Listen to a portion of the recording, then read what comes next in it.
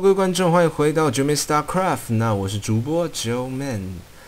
那这一系列由我们啊，这个美国的人类玩家 QXC 对上北美神族的顶尖玩家 Huck 已经来到第二场了。那第一场比赛当中，我们可以看到 QXC 它是采用一个非常具有侵略性的一个打法哦，从头到尾是持续的在做进攻哦。那我们给予 Huck 相当大的压力。那不过我们 Huck 也算也是这个。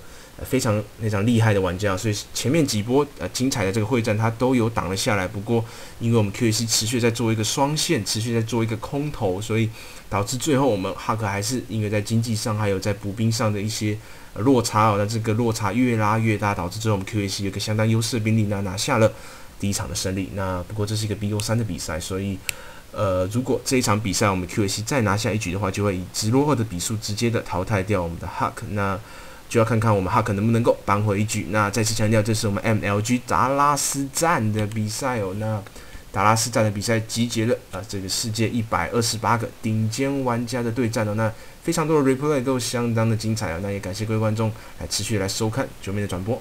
那么看到 QAC 这个开局是一个补给站之后，在人口十二的时候下了一个兵营，是相当标准的一个开局。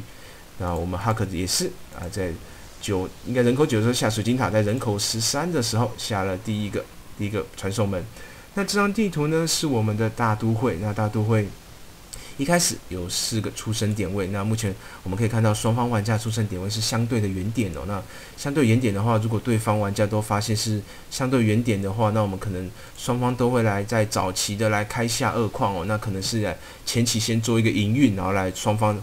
互相做骚扰来做这个探查骚扰，然后到中期才补兵来做这个大量的兵兵力输出哦。这我不确定会不会这样做了。不过不过呃，这是也也有可能我们 QAC 会也是会像上一场一样做一个相当有这个侵略性的一个打法。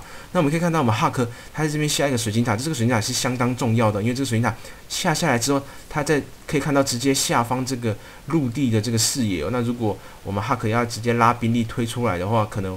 可能会被我们哈克看到，所以呃，这个水晶塔位置也相当重要。那同时，他可能待会也会在这个这个喷气口地方下一个水晶塔哦，因为来防止对方的这个绕路的空投。好，那哈克这个时候，哦，他应该是抢了对方五块钱的矿哦，矿被打爆了，被打爆。那我们可以看到，哈克这个一开始的开局其实跟上一场一模一样哦，他也是很早期就下了第二个兵营哦，他并没有来升我们的军工厂，所以很有可能是也是要来前期做一个。呃，掠夺者还有陆战队的这个前期很早期的一个压制哦，那如果呃压制如果压制得以的话，对方可能会损失这个追猎者，或者是更惨的话是损失不少的工兵哦，那就要看看我们哈克能不能够挡得下来。那这时候 QC 这一支呃这一支太空 SCV 仍然是很健康的，只是在对方家里外面来做骚扰。哇，那这时候我们会看到 QC 在存钱了，他莫非是要来很早期的做这个二矿的开采吗？生产我们的空间之门，大家可以直接的就从水晶塔来要传我们的兵哦，可以直接的补在下下下下这什么低地，或者是直接补补在高地哦。没有，他可是真的要来开二矿哦。他只是刚刚存的钱，可能是在升其他兵，然后同时的存了钱开下二矿哦。因为这是一个相对远点的地方哦，所以开二矿的话，对方的这个部队要来前进的话是要走比较远的，而且目前呃目前 QXC 的视角是不知道我们哈克有开二矿的，不过他马上的拉了。一开始拉了一支掠夺者，一支啊陆战队，还有一支 SCB 哦，这开场跟刚刚一模一样哦。那可能马上呢就会探到对方的这个二矿的这个建造，那会不会像上一场一样，直接的在对方二矿外面直接盖下一个邦克呢？我们就要看看。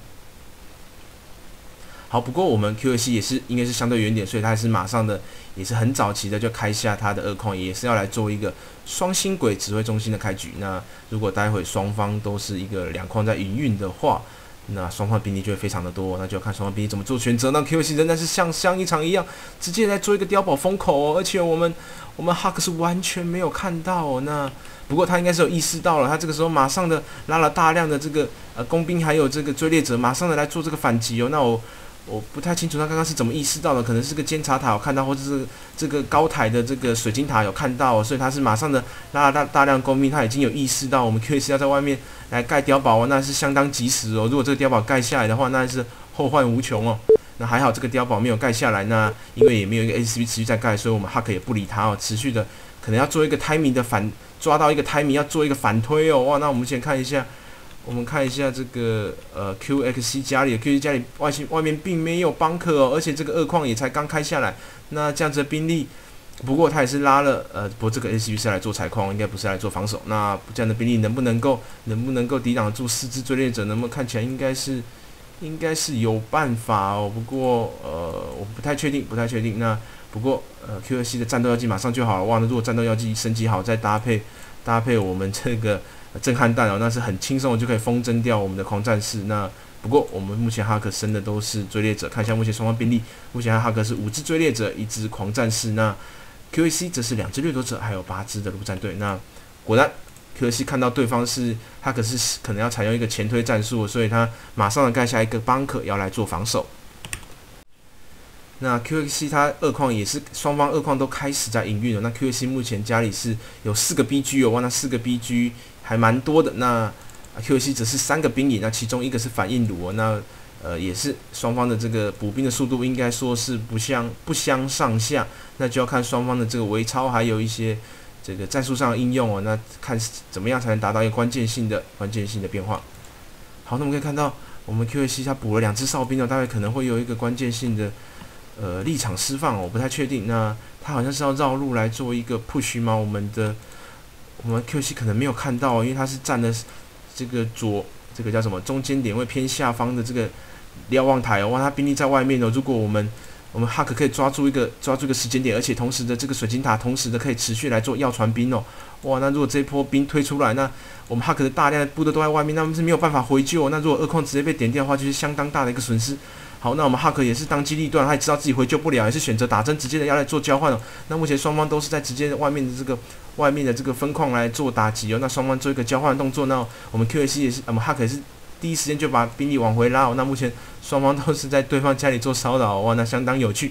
那就看一下这样双方交换的结果是谁能够赚到哇？QAC 也是很早的盖下一个幽灵特务学院哦，他也是要来生产我们的鬼子。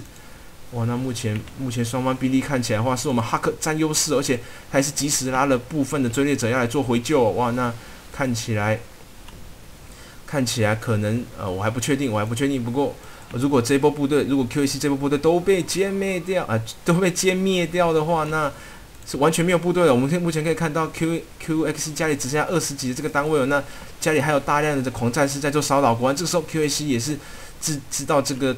这个双方这个交换的结果是自己落一个很大的下风，所以直接的打下去去结束这场比赛。哇，这场比赛打的这个相当的相当的快哦，不过也是相当的精彩。我们可以看到我们 Q A 我们的 Huck 抓到一个漂亮的时间点哦，尤其呃搭配 Huck 抓到一个相当漂亮的时间点，而且搭配我们这个主矿外面的呃对方外。这个 QXC 外面的这个水晶塔持续在做要传兵哦，那他也拉了一个部队的少量呃部分的部队来做回救，也有这个自己家里有守下来啊，所以导致我们 QXC 直接打下去就结束了这场比赛。那也感谢各位观众的收看，呃，我是主播九妹，我们马上来关注我们下一场最关键的第三场比赛。那下次再见了，拜拜。